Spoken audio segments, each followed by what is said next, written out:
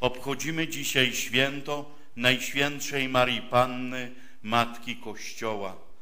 Dziś do naszej świątyni wprowadziliśmy relikwie błogosławionego Ojca Świętego Jana Pawła II, które będziemy dawali do dotknięcia zawsze po różańcu 16 dnia każdego miesiąca. Kiedy dotkniemy relikwie, rękę następnie przyłożymy do naszego serca. Przywiozłem dzisiaj z naszej diecezjalnej biblioteki wszystkie dzieła Ojca Świętego Jana Pawła II. 18 tomów, około 20 tysięcy stron. Nie pytam, kto z Państwa czytał te dzieła, bo odpowiedź na to pytanie wydaje się być oczywista. Ja też nie czytałem wszystkich tych dzieł. Czytałem ich streszczenia i obszerne fragmenty. Jednak błogosławionym czy też świętym nie zostaje się za pisanie dzieł teologicznych czy ich czytanie. Nawet jeżeli są to dzieła tak wartościowe, jak dzieła Jana Pawła II. Świętym, błogosławionym zostaje się za świadectwo chrześcijańskiego życia, za świętość, za dobry przykład, za realizację w życiu Ewangelii i to często w sposób heroiczny. Te dzieła mają dużą wartość dla biskupów, kapłanów, teologów. Dla nas w tej chwili, w sensie pobożności, mają wartość niewielką. My przyszliśmy tu z innego powodu. Nie z powodu tych mądrych, naprawdę istotnych rzeczy, które powiedział czy napisał Jan Paweł II, ale przyszliśmy tu z powodu Jego życia. A Jego życie przedstawia relikwia, którą przed chwilą wprowadziliśmy do naszego kościoła. Jest to malutki kawałek sutanny Jana Pawła II. Nie więcej niż jeden centymetr kwadratowy. Ma dla nas o wiele większe znaczenie niż te dzieła, bo ta sutanna, ten fragment sutanny Jana Pawła II jest świadectwem jego kapłaństwa, jego życia i jego świętości. Czym są relikwie? To łacińskie słowo oznacza resztki, pozostałości czy pamiątki po, w tym przypadku, po danym świętym czy błogosławionym. Jednak słowo to oznacza także dziedzictwo. W tym słowie zawiera się także treść duchowa. Relikwie to nie tylko rzecz fizyczna, ale to rzecz duchowa, bo przedstawia duchowość i pobożność danego człowieka. Relikwie dzielimy na trzy stopnie. Relikwie pierwszego stopnia to wszystkie, można by tak ogólnie powiedzieć, części ciała świętego. Drugiego stopnia to głównie szaty i te przedmioty, których święty czy błogosławiony używał na co dzień. I trzeci trzeciego stopnia to wszystko to, z czym dany święty czy błogosławiony miał styczność, ale niekoniecznie codziennie. Jednak skuteczność relikwii nie zależy od ich stopnia pierwszego, drugiego czy trzeciego, ale od naszej wiary. Można by zapytać, w jaki sposób działają relikwie, o ile jest to właściwe słowo. Jak działają relikwie? Sięgnijmy do Pisma Świętego. W Ewangelii Świętego Marka do Jezusa przychodzi kobieta, która od dwunastu lat cierpi na krwotok. Jak mówi ewangelista, wiele wycierpiała od różnych lekarzy. Na tą chorobę wydała całe swoje mienie i czuła się jeszcze gorzej. Przepycha się gdzieś w tłumie i dotyka płaszcza Jezusa. To pierwsza relikwia. W momencie dotknięcia tego płaszcza zostaje uzdrowiona. Krwotok natychmiast ustaje. Dlaczego ta kobieta została uzdrowiona? Czy dlatego, że dotknęła płaszcza Jezusa? Na to pytanie odpowiada sam Jezus.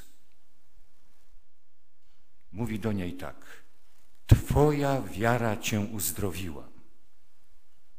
Dotknęła płaszcza Jezusa, ale najważniejsza była jej wiara. Zrobiła to z wewnętrznym otwarciem, zaangażowaniem. Jak działają relikwie, można też w tym momencie dać przykład sanktuarium w Gidlach. Wiemy, że jest tam uzdrawiające wino. W sklepiku przyklasztornym można nabyć taką małą ampułkę wina. I kiedyś do brata zakonnego, który jest w tym sklepiku, podeszła pewna osoba i zapytała: Właściwie jestem ciężko chory.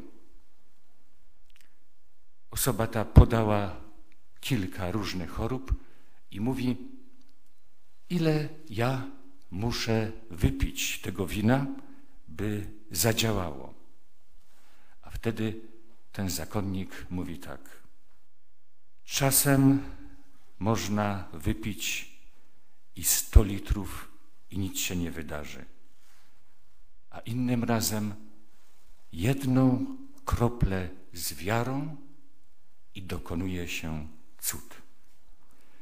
Najważniejsza jest nasza wiara. Relikwie jednak mają także jeszcze jedno znaczenie, o którym często zapominamy. W czasie Dni Młodzieży w Toronto w 2002 roku, kiedy papież był już bardzo zmęczony, opuścił fotel, na którym siedział, udał się na spoczynek. I wtedy stała się rzecz niesamowita.